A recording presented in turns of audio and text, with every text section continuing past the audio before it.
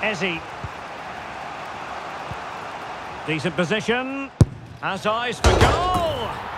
Goodness gracious me! How about that for technique? You can't strike the mark.